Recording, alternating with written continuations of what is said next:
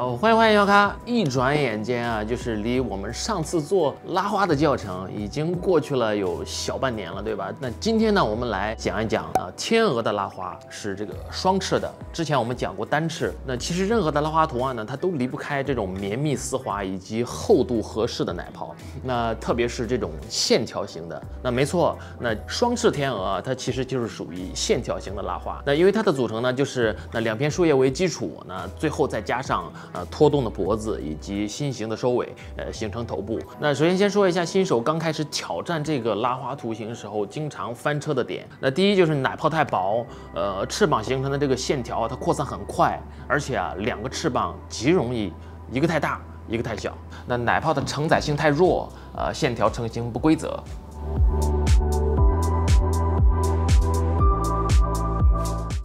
第二，那奶泡太厚，那翅膀的线条呢张力就不够，那看起来就很肥。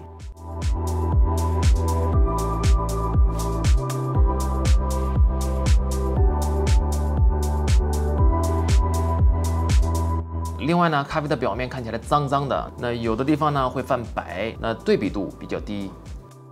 那第三，如果你们用厚度合适的这个奶泡，就算你的出图时机点过早，它也会造成一个翅膀太大，呃，一个翅膀太小的现象。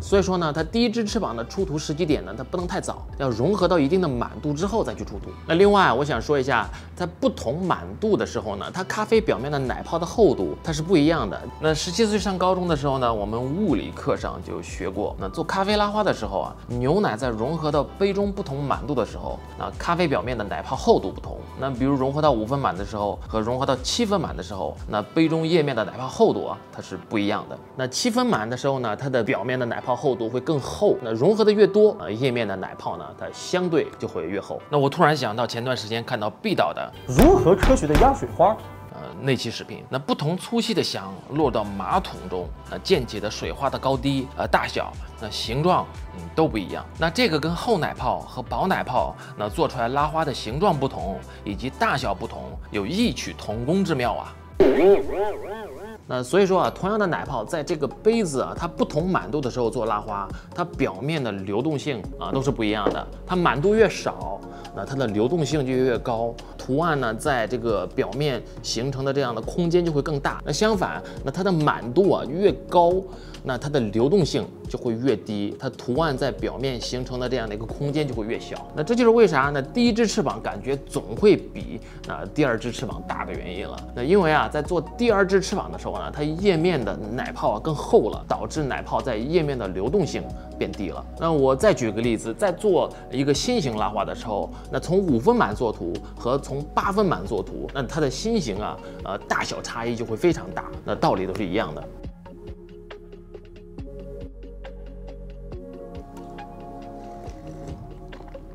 这么多的知识点啊，建议大家收藏一下本视频，那方便以后找出来观看。OK，那接下来说一下啊，出图的时机点，那不要太早，大致就在六分满的时候出图比较合适。那当然了，出图时机点也要根据奶泡的薄厚度，呃，可以适当灵活的调整。那奶泡稍微厚一点的话呢，就可以稍微早一点啊；薄一点的话呢，就可以稍微晚一点。那先做第一只翅膀，那第一只翅膀的控流呢，一定要小心一点，要非常非常的小心，因为一不小心，那翅膀就大了。那完成第一个翅膀之后呢，那手腕要有一个微微的转杯的动作。那第二只翅膀在释放奶泡的时候啊，可以比第一只翅膀稍微力度大一些，因为此时此刻的液面流动性啊，它没有呃做第一只翅膀的时候的流动性高。那这样就可能尽可能的保证两只翅膀那大小的一致性，那从而呢，那天鹅的翅膀看起来就会更均匀，呃，更自然。那最后，那天鹅的脖子啊和头部啊，如果想要做的灵巧，那大家可以参考之前单翅天鹅的啊那期的知识点。那制作一杯咖啡拉花看似是一一个简单的动作，呃，但是呢，需要背后不断的练习，呃，不断的失败加上不断的思考，才能最终完成一杯完美的咖啡拉花。那这也不禁让我想起了小的时候经常看的一部动画片《数码宝贝》。那在探索旅途中的数码宝贝们，他们经历了冒险、呃失败、克服、再失败、呃成长、呃进化，那最终成为了最美、最强大的自己。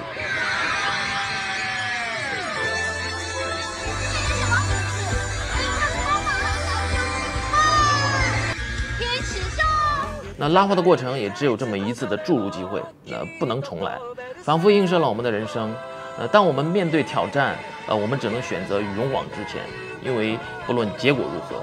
我们都没有再来一次的机会。啊，拉花如此，人生如此。